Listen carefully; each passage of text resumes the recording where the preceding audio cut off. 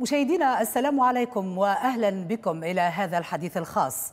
وضيفنا اليوم السيد محمد سهيل شاهين المتحدث باسم المكتب السياسي لحركة طالبان وعضو الفريق التفاوضي الذي وقع اتفاق السلام مع الولايات المتحدة في الدوحة يوم التاسع والعشرين من فبراير الماضي.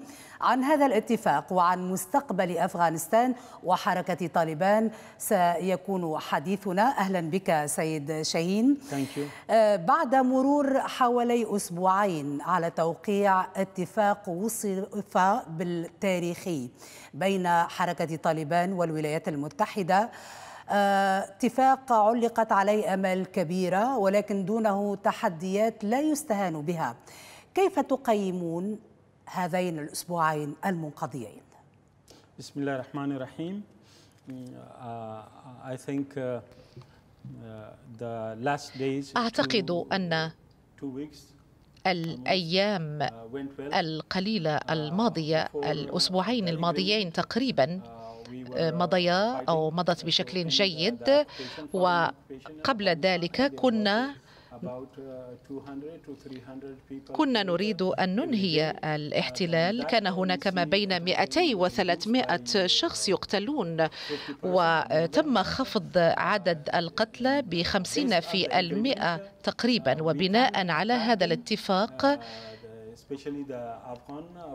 خصوصا القوات الأفغانية والموجوده في كابول.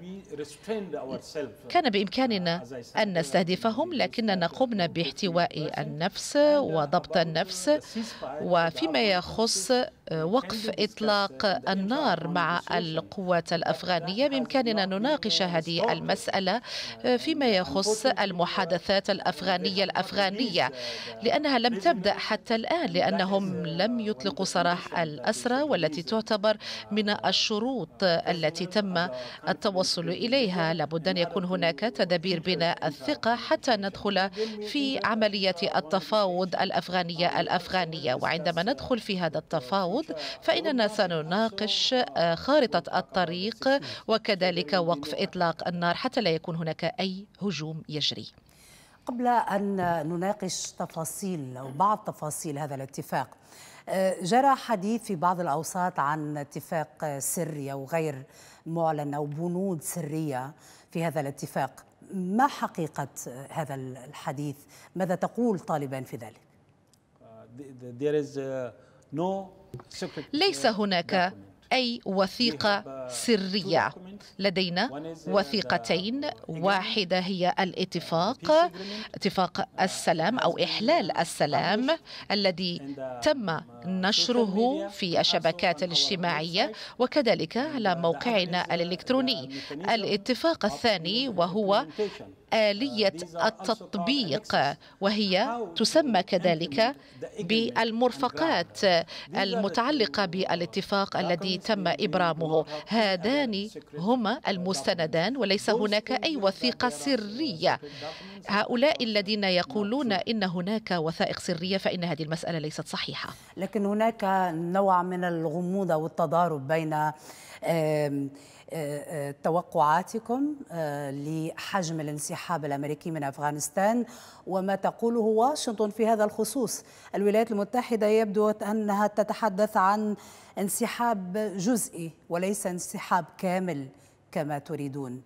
ما ما الحقيقي ما الواقعي والواضح في هذه المسألة؟ الأمريكيون وافقوا على جدول زمني ألا وهو 14 شهرا وفي غضون 14 شهرا وعدوا حسب الاتفاق بأن يقوموا بسحب كل قواتهم من أفغانستان.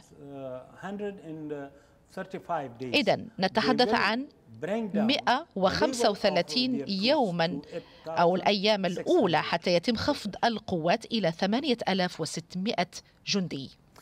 في مقابل ضمانات من جانب طالبان بعدم استخدام أفغانستان أو السماح باستخدام أفغانستان منصة لمهاجمة القوات الأمريكية. Of course we have uh, نعم. إنه في مصلحتنا أن لا نسمح لأي طرف أن يستخدم أراضي أفغانستان ضد الولايات المتحدة وضد حلفائها أو أي دولة أخرى. لأنه كان لدينا هذا الهجوم الأشخاص كانوا يقاتلون لأربعة عقود. وبعد ذلك عندما تقوم القوات الأجنبية بالانسحاب من أفغانستان سنبدأ فصلا جديدا إعادة البناء إعادة التأهيل وتنمية أفغانستان. لذلك نحتاج إلى تعاون دول أخرى في هذا الإطار. لأن هذه المسألة هي في مصلحتنا ولقد اتفقنا حسب الاتفاق الذي تم إبرامه على أننا لن نسمح على استخدام أراضي أفغانستان ضد أي دولة أخرى لأنه نرى هذه المسألة في مصلحتنا القومية. لكن هل تتوقع طالبان اختبارا من جانب واشنطن لالتزام طالبان بهذه الضمانات؟ yes, uh, we have نعم لدينا uh, we have, uh, تأكيد أو أكدنا على ذلك من الناحية العملية. إذا لدينا قوات داعش أو تنظيم الدولة في الجانب الشرقي للبلاد وفي الثلاثة أشهر الماضية قمنا بإزالتهم من هذه المناطق الشرقية.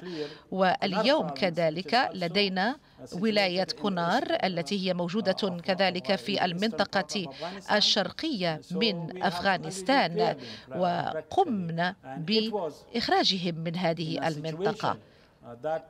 إذا كنا في وضع خصوصا خلال الأشهر الأولى أن هناك طرف كان يقاتل القوات الأمريكية وقوات أفغانستان وبشكل موازي كذلك كنا نقاتل داعش ونجحنا لإخراجهم من هذه المناطق. ولن نسمح في المستقبل لأي من القوات لتستخدم أراضينا ضد دول أخرى من أجل أو تحقيق أو وصول إلى أي مشاكل بالنسبة لنا.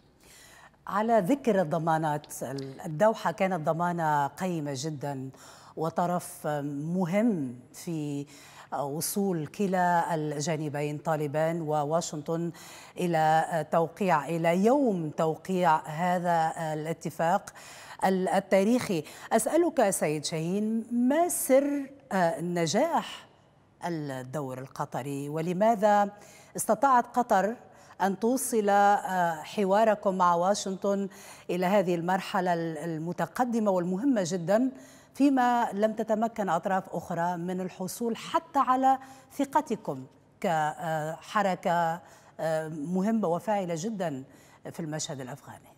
Yes.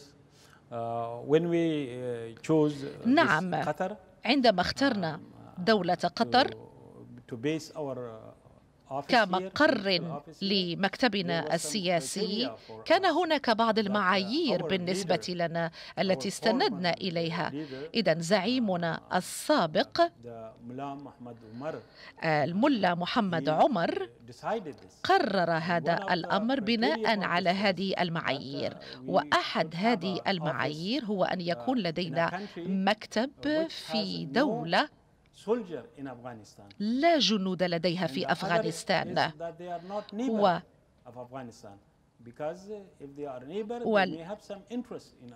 وليس لديهم أي مصالح في بلدنا. إذا كانت هذه هي المعايير وأنهم كذلك دولة محايدة. إذا كانت هذه هي المعايير التي جعلتنا نختار دولة قطر من أجل تأسيس مكتبنا هنا. وبعد ذلك بدأنا بهذه الرحلة للوصول إلى تسوية للقضية الأفغانية والتي تتوج توجت بالاتفاق الذي تم إبرامه في التاسع والعشرين من فبراير الماضي و الدور الذي لعبته دولة قطر في تلك المرحلة كان مهما للغاية كان أساسيا وفي كل مرة وجدنا فيها آه، أي من العوائق في عملية التفاوض كانوا يأتون إلينا من أجل مساعدتنا من أجل مواجهة هذه العوائق وكانوا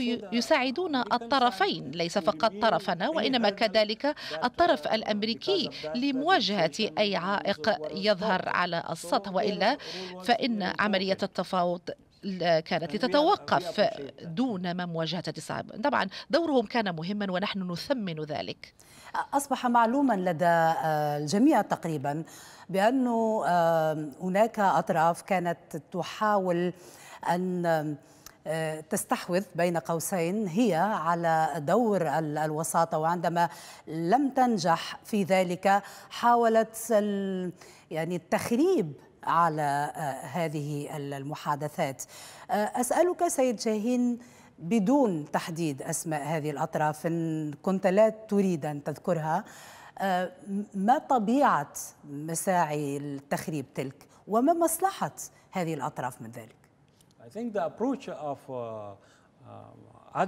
أعتقد أن مقاربة الآخرين آه، في uh, قطر كانت مختلفة. بعض الأوساط بعض الدول كانت تريد أن نسلم سلاحنا أو أسلحتنا لإدارة كابول. التي تم تأسيسها من قبل الأمريكيين. في الوقت الذي كنا نسيطر فيه على 70% من الأراضي الأفغانية. ونحن نناضل نقاتل من أجل تحرير بلدنا. هنا في دولة قطر المقاربة كانت تقتضي أن نجلس مع الأمريكيين الذين احتلوا بلدنا. وأن نتحدث إليهم من أجل التوصل إلى اتفاق ألا وهو سحب قواتهم آه، من الأراضي الأفغانية وبعد ذلك نجلس مع الطرف الأفغاني لنصل إلى حكومة جامعة إسلامية. إذا كانت المقاربة مختلفة هنا في دولة قطر. إذا لم نكن جاهزين بأن نسلم أسلحتنا. لأننا نحن نناضل نقاتل من أجل تحرير بلدنا. إن لم يتحقق هذا الهدف فإنه من المستحيل أن نسلم أسلحتنا. إذا مقاربة الدول الأخرى لم تكن عملية بالنسبة لنا. هل سيستمر الدور القطري في المرحلة المقبلة عندما ينطلق الحوار الأفغاني الأفغاني ربما بشكل أو أشكال مختلفة. أعتقد أن الدور القطري في المستقبل سيكون مهما. لقد لعبوا دورهم بشكل جيد في الماضي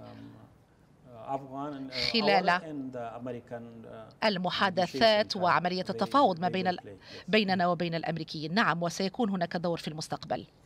كيف تنظرون سيد شاهين إلى الهجوم الصاروخي الذي استهدف تنصيب أو مراسم تنصيب الرئيس أشرف غني في قصره في في كابول والذي تبنته وتبناه تنظيم الدولة الإسلامية ما الذي يمثله لكم مثل هذا الهجوم من حيث الجهة التي تبنته ومن حيث التوقيت Yes, I think uh, you, you know there are uh, rivalries. نعم هناك خصومات ندية في كابول في ما بين الأوساط المختلفة تلك الممثلة في الحكومة وكذلك بعضهم لديهم روابط بتنظيم الدولة.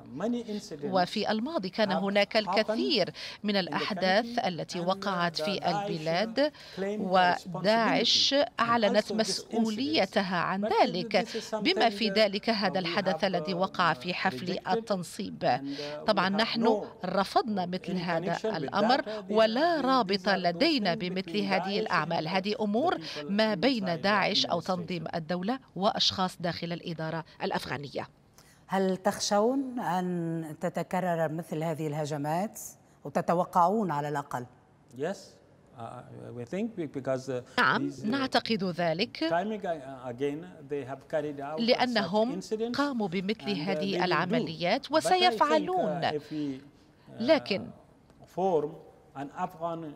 إذا ما قمنا بتأسيس حكومة جامعة نتيجة للمحادثات الأفغانية الأفغانية فإنه لن يكون هناك مكان لمثل هؤلاء الأشخاص ليقوموا بعمليات هجوم من أجل تحقيق أهدافهم.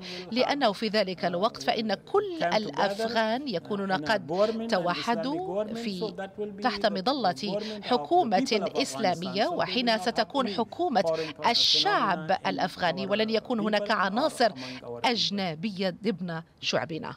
لكن أفغانستان حاليا منقسمة بين رئاستين أشرف غني وعبد الله عبد الله هل آه، يمكن أن يؤثر هذا الانقسام على نجاح المفاوضات الأفغانية الأفغانية التي يفترض أن آه، آه، تالية الاتفاق؟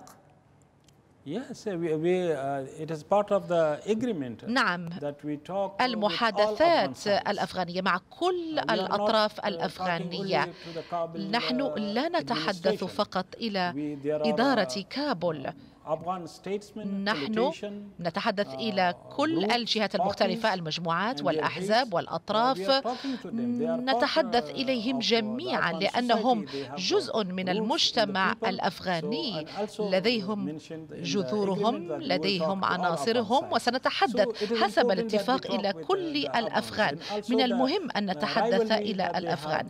إذا هناك هذه العديات التي ظهرت خصوصا في حفل التنصيب الذي جرى وهذا يعني أنه من الضرورة أن نبدأ بعملية السلام ونقوم بتشكيل حكومة أفغانية إسلامية موحدة حتى لا يحدث مثل هذه الأشياء التي حدثت. هذه الأشياء السيئة والتي تدعو إلى الخزي أن يكون لدينا رئيسين. آه، أهم ربما بنود الاتفاق وأولى الخطوات فيه الإفراج عن السجناء من كلا الطرفين من طالبان ومن الحكومة الأفغانية. آه، يبدو أن العملية بدأت بالفعل ولكن بدأت معها المشاكل وعدم الوضوح وعدم الفهم الموحد للمصطلحات كما يبدو ما حقيقة ما قيل عن إفراج مشروط عن سجناء آه، طالبان الذي تتحدث عنه الحكومة الأفغانية هل نص الاتفاق على آه، إفراج مشروط؟ No, there is no condition. هناك إفراج مشروط ليس هناك أي شروط فيما يخص إطلاق سراح الأسرى حسب الاتفاق. الاتفاق يقول عندما يتم توقيع هذا الاتفاق بعد ذلك ستبدأ تدابير بناء الثقة. وخلال بناء التدابير تدابير بناء الثقة فإن خمسة ألاف من الأسرى سيتم إطلاق سراحهم وسنقوم بإطلاق سراح ألف من أسرى نظام كابول. بعد ذلك سندخل إلى عملية تفاوض أفغانية أفغانية. وفي ذلك الوقت فإننا سنتحدث إلى كل الأطراف كل أطراف بأفغانستان. وسنتحدث حينها عن الخارطة خارطة الطريق السياسية. وسنتحدث كذلك عن الدستور دستور البلاد في المستقبل. وكذلك سنتحدث عن الإصلاحات وأجندات أخرى. في جزء موالي من من هذا الحوار سيد شاهين. ولكن لكن يعني بدأ تنفيذ الاتفاق بهذه الإشكالات. عدم التوافق على إفراج مشروط أو غير مشروط. ما مصلحة الحكومة منه؟ الحكومة الأفغانية. وهل تتوقع أن ربما يعطل بداية الحوار المباشر؟ في بادئ الأمر نعم هذا غير متوافق مع الاتفاق هو ضد الاتفاق ثانيا وبسبب الإبطاء والتأخر في إطلاق سراح الأسرى فإن المحادثات التي كان ينوى بها أن تبدأ في العاشر من مارس لكنها لم تبدأ. وأعتقد كذلك هذه تعتبر تكتيك لتأخير عملية المحادثات مما ينشئ عوائق في وجه عملية التفاوض الأفغانية. الأفغانية حتى لا تحدث. لذلك فإنني أعتقد أن أن أطراف النزاع لابد أن تتصرف وتتحرك حسب الاتفاق. أي عدم التزام بهذا الاتفاق فإنه سيؤخر عملية التفاوض. الصادق صديقي المتحدث باسم القصر الرئاسي في كابول أشار إلى ضرورة آه، أن يقدم السجناء سجناء طالبان تعهدات مكتوبة بعدم العودة لحمل السلاح. هل هذا هو الشرط للإفراج عن سجنائكم؟ وهل أنتم مستعدون لتنفيذه؟ Uh, that uh, our people uh, do not, uh, the prisoner do not return uh, to the battle uh, إذن الشرط هو أن لا يعود الأسرى إلى أرضية المعركة ووافقنا على ذلك في الاتفاق لا مشكلة لدينا فيما يخص هذه المسألة. المشكلة هي أن الاتفاق يقول خمسة آلاف من الأسرى لابد أن يتم إطلاق سراحهم لكنهم ليسوا جاهزين لإطلاق سراحهم. لذلك عملية التفاوض الأفغانية الأفغانية تم إرجاؤها. إذا هذان شيئان مختلفان. الشرط ليس لدينا أي مشكلة به لكن لابد من إطلاق ألف. الاتفاق هو خمسة ألاف وليس ألف أو ألف وخمسمائة لكنهم لم يفعلوا ذلك. تعهدات مكتوبة. هل طالبان أو سجناء طالبان على استعداد لتقديمها؟ من أجل التعجيل على الأقل. ببدء الحوار مع الحكومة الأفغانية. كما تعلمون هناك تسلسل في هذا الاتفاق. أولا سيكون هناك إطلاق سراح الأسرى وبعد ذلك المحادثات الأفغانية الأفغانية وبعد ذلك المحادثات السياسية وخارطة الطريق وبعد ذلك محادثات حول وقف إطلاق النار وكذلك حول السلام الدائم في البلاد. هذا هو التسلسل تسلسل ونحن نمضي حسب التسلسل المدرج في الاتفاق. بنود الاتفاق. هم من ينتهكون هذا الاتفاق. وعندما يقومون بانتهاك بنود الاتفاق هذا يبطئ ويرجئ ويؤخر عملية التفاوض أو المحادثات الأفغانية الأفغانية. إذا لم يقوموا بإطلاق سراح الأسرى سيكون من الصعب أن نمضي قدما. لو تحدثنا قليلا سيد شاهين عن مستقبل طالبان بعد توقيع هذا الاتفاق التاريخي بداية باختصار هل تعتبر طالبان هذا الاتفاق وتوقيعها توقيعها هي عليه بمثابة الانتصار للحركة؟ If we say that we reached إذا ما قلنا أننا وصلنا إلى حل ينهي الاحتلال احتلال بلدنا. فإنه أعتقد هو النصر بالنسبة لنا. uh, و uh, أن الولايات المتحدة الأمريكية إذا ما تمكنت من أن تصل إلى تسوية سلمية. من خلالها يقومون بسحب قواتهم من أفغانستان. أعتقد أن هذا الأمر كذلك يعتبر آه، نصر بالنسبة لهم. عندما نصل إلى حل حل سلمي. أعتقد أن هذا الأمر سيكون جيدا بالنسبة لكلا الطرفين. لأن هذا يؤدي إلى إنهاء نزاع وكذلك إنهاء الأعمال العدائية.